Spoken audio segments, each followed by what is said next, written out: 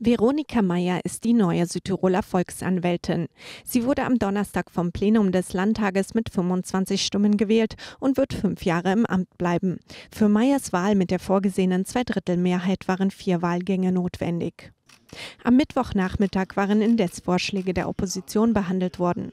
Zustimmung fand ein Beschlussantrag der Grünen, der darauf abzielt, dass Empfängerinnen und Empfänger von Landesförderungen für die Ausbildung in Gesundheitsberufen sich nach Ausbildungsende verpflichten, drei bzw. vier Dienstjahre im öffentlichen Gesundheitsdienst zu absolvieren. Ein ähnlicher Antrag des Team K, der sich mit der Ausbildung von Ärzten und Ärztinnen befasste, wurde dagegen abgelehnt. Ein Nein gab es ebenso für einen Beschlussantrag der Grünen, wonach Südtirol sich zum Nachtfahrverbot in Tirol bekennen solle, sowie einen Antrag von JWA-Wirt Anderlan, demzufolge der Landtag sich für eine diplomatische Lösung des Ukraine-Krieges aussprechen solle.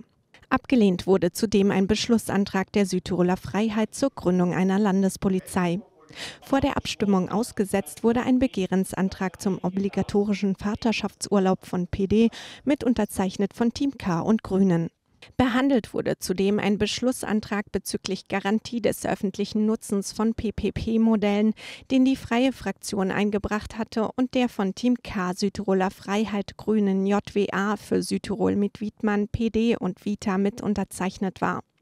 Angenommen wurden schließlich zwei Anträge der Mehrheit. Mit einem wird die Landesregierung aufgefordert, Maßnahmen zur Stabilisierung der Milchwirtschaft zu ergreifen, mit einem die Ortspolizei durch zusätzliche Zuständigkeiten und Befugnisse zu stärken. Eine Besonderheit während der April-Sitzungsfolge des Landtages war die Vorstellung der Ergebnisse des Jugendparlaments zur Alpenkonvention WAPAC durch Schülerinnen und Schüler der Voss in Meran. Die WAPAC-Teilnehmer überreichten dem Landtagspräsidenten ein Dokument mit den verabschiedeten Resolutionen und präsentierten den Abgeordneten zum Themenkomplex geschützte Naturgebiete gefasste Beschlüsse.